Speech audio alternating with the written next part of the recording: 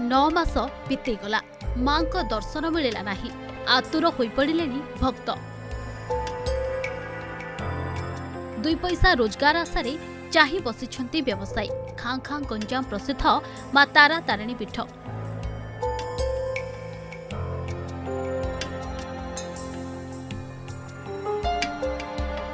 Corona କଟକଣା ପାଇଁ ମନ୍ଦିର ବନ୍ଦ ରହିଛି। ଶୀତଦିନେ ଗତବର୍ଷ ଏଠାରେ ଲକ୍ଷାଧିକ ଭକ୍ତଙ୍କ ଭିଡ଼ ଜମିଥିଲା। କିଏ ମାଙ୍କ ଦର୍ଶନ କରି ଆତ୍ମତୃପ୍ତି ଲାଭ କରୁଥିଲା ତ କିଏ ପିଲାଙ୍କ ମୁଣ୍ଡନ କରି ମନସ୍କାମନା ପୂର୍ଣ୍ଣ କରୁଥିଲା। ହେଲେ ଏଥର ନାହିଁ ସେ ଗହଳି ଚହଳି।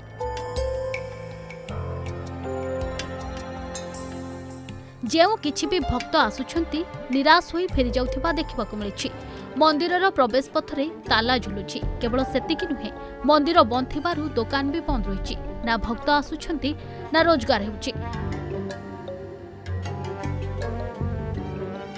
ମନ୍ଦିର ଉପରେ ନିର୍ଭର କରୁଥିବା ସେବାୟତ ଓ ଦୋକାନୀଙ୍କ ଜୀବନ କଷ୍ଟକର ହୋଇପଡ଼ିଛି।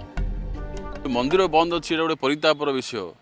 ଯେ ମନ୍ଦିର ବନ୍ଦ ହେବା ଫଳରେ ସମସ୍ତ ସେବତାମାନେ ସେବତାମାନେ ଯେଉଁ ସମସ୍ୟାର ସମ୍ମୁଖୀନ ହେଉଛନ୍ତି ତାଙ୍କର ପରିବାର ଧରିକିରି ତାଙ୍କର କାଳିତିପାତ କରୁଛନ୍ତି ବଡ଼ ଦୁଃଖ କଷ୍ଟରେ ବଞ୍ଚୁଛନ୍ତି ଏବଂ ଯେଉଁ ଭକ୍ତମାନଙ୍କର ଆବେଗ ତାଙ୍କର ଶ୍ରଦ୍ଧା ଭଗବତୀଙ୍କ ଉପରେ ଅଛି ବିଶ୍ୱାସ ସେ ଆସ୍ତେ ଆସ୍ତେ କାହିଁକି ନା କାହିଁକି କିଛି ନା କିଛି କ୍ଷୁର୍ଣ୍ଣ ହେବାରେ ଯାଇଛି। କିନ୍ତୁ ଆମେ ଓଡ଼ିଶା ସରକାରଙ୍କୁ ଅନୁରୋଧ କରୁଛୁ ଯଥାଶୀଘ୍ର ମନ୍ଦିର ଖୋଲାଯାଉ ଏବଂ ভক্তমানঙ্কর কিমরি মাঙ্কর আশীর্বাদ প্রাপ্তি হবে, সে পরিবেশে দৃষ্টি দিও সব মন্দির বন্ধ। এবে বাহাঘর পাই অনুমতি সরকার দেইদেলে।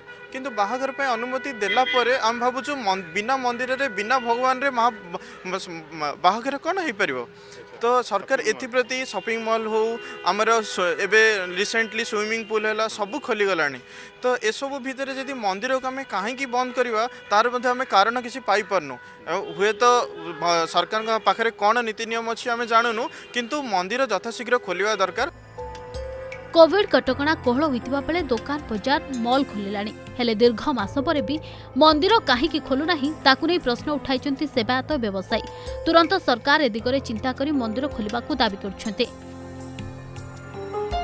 ବେପାର ଭଲରେ ଚାଲିଥିଲା ଏବେ ମନ୍ଦ ସଟ୍ଡାଉନ୍ରୁ ଟିକେ ବାନ୍ଦା ଅଛି ଆଉ। ସରକାର ଯାହା କହିଲେ ତାହା ଖୋଲିଲେ ବେଲେ ଖୋଲିବ ଆମେ ଅବସ୍ଥାରେ ହେଉଛୁ ପରିବାର ଧରି ଭାସୁଛୁ ଆଉ। ଯିବା ଆସିବା ଟିକେ ମନ୍ଦିର ଖୋଲାଇନି ହେଲେ ସବୁ ପଳାଉଛନ୍ତି ବେପାର ମାନ୍ଦା ଅଛି। ପ୍ରଥମେ ଅର୍ଗସ୍ ଟିଭିକୁ ସାଧୁବାଦ ଦେବି ଯେହେତୁ ଆମର ସୁବିଧା ଅସୁବିଧା ବୁଝିବା ପାଇଁ ଆମ ପାଖରେ ପହଞ୍ଚିଛନ୍ତି ପ୍ରଥମେ ତାଙ୍କୁ ଧନ୍ୟବାଦ ଦେଉଛି। ନିଶ୍ଚିତ ଭାବେ ସବୁ ତ ଖୋଲାଗଲାଣି।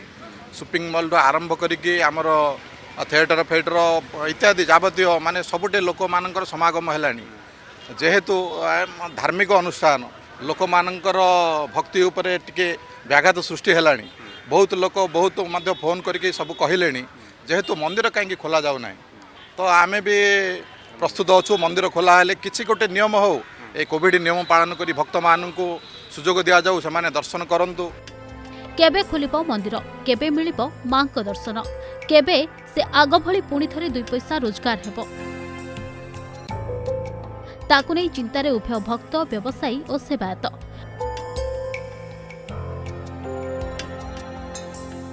ଗଞ୍ଜାମର ଭିଡିଓ ଜର୍ଣ୍ଣାଲିଷ୍ଟ ଶୁଭେନ୍ଦୁଙ୍କ ସହ ପୀତାମ୍ବର ନାହକଙ୍କ ରିପୋର୍ଟ ଅର୍ଗସ୍ ନ୍ୟୁଜ୍।